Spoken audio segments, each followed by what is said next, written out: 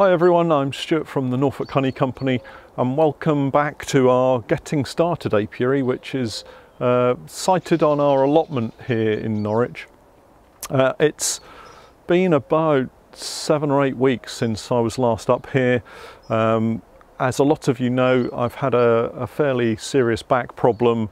Uh, I've been to a physio who tells me that it's likely to be a recurrence of a prolapse disc that I've had, but I'm now up and about and uh, moving around if uh, only a little bit gingerly but uh, hopefully uh, I'm on the mend and I can start to get back into the bees.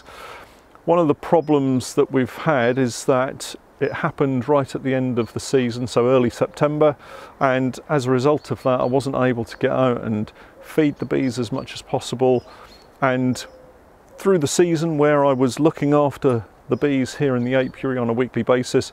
We've not actually inspected them towards the end of the season.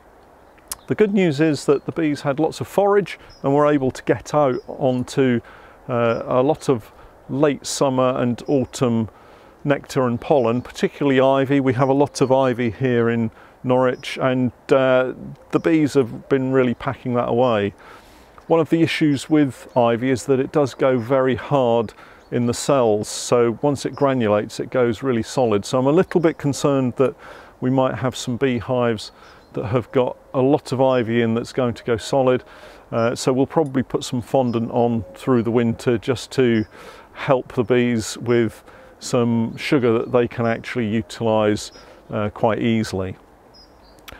The problem that we've got here in the allotment apiary is that over the last seven or eight weeks the weeds have grown uh, really quickly uh, as weeds do and I really need to get in and get it tidied. So what we're going to do today is move the beehive from the allotment to another apiary site that we've got so that we don't have any bees here so I can clean out this site and we can then bring the bees back uh, perhaps after Christmas and into the new year once we've got everything ready for them for the, the coming season.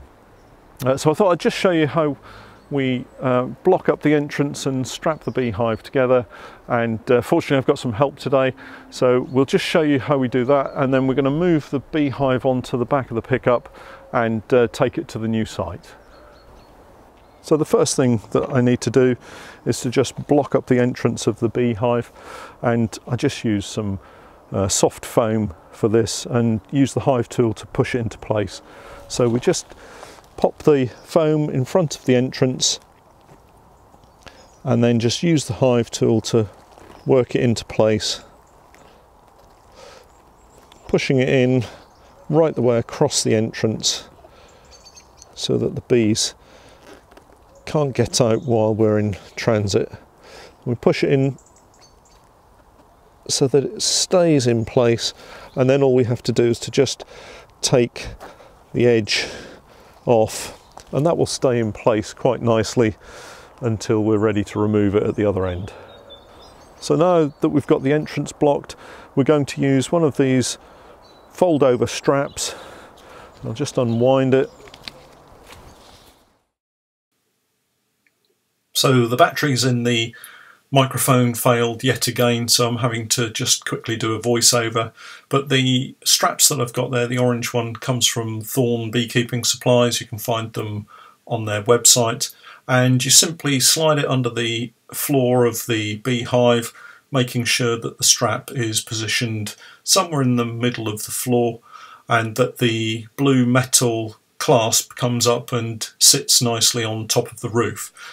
Once you've got the nylon webbing uh, on top of the roof with the blue metal clasp. It's simply a case of threading the nylon webbing through the metal S shape and then it will pull over quite nicely and that then tightens down onto the roof and pulls the webbing nice and tightly so that it holds the uh, hive tightly together. At this point you just need to thread the orange webbing through the gap in the blue metal clasp and slide the blue metal strap beneath the webbing and that will hold it in place and stop it from undoing and then simply coil up the rest of the webbing and uh, tuck it down the side so that it's nice and secure and ready for transportation. Okay, so we've managed to bring the beehive over to the pickup. We've got another hive here that we're moving as well. Um, it's a really heavy beehive, this one, so the bees on the allotment here have packed away lots of stores for the winter, so that's good news. Bit of a struggle coming down the uh, allotment path, but we're, we've managed to get here safely without any mishaps. So the next thing to do is to take the bees over to our university apiary, uh, where we've already got uh, several beehives and we'll unload it there. So we've had an uneventful journey getting the bees over here. They're nicely strapped up um, and no dramas at all. We've got a site ready for them. We've got a, a slab all set and prepared, ready to unload. Um, it's a bright but very chilly day today. Uh, it's the 5th of November, so happy Guy Fawkes Day. And um, uh, I thought I'd um, just display my t-shirt, which you can get off the website, but from today onwards, I think it's going to have to be uh, hoodies, sweatshirts and coats because it is really quite cold. So um, do take a look at the website and have a look for the t-shirts if you're looking for maybe a, an early Christmas gift. Right, so we're going to undo the straps and get the hive off the back of the pickup and onto the stand.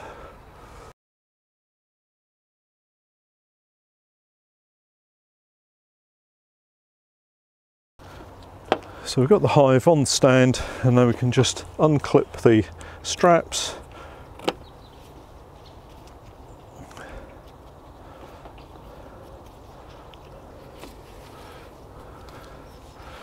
and then by lifting the back of the stand we can slide the strap out. So we've moved the pickup out of the way and all that remains is just to remove the foam from the entrance uh, and once that's done the bees are then going to be happy here for the winter and we can then get back to the allotment and get that tidied up ready for next spring. Finally, uh, before we take the foam out, I just wanted to say thank you to everyone for all of your very kind messages of support that you've sent me while I've been going through this uh, recovery period with my back. Uh, hopefully now we can get back out and do a few videos over the winter and then once the season starts again next spring we can get back into producing lots more videos for you. Um, so uh, without further ado let's take out the foam and thanks for watching.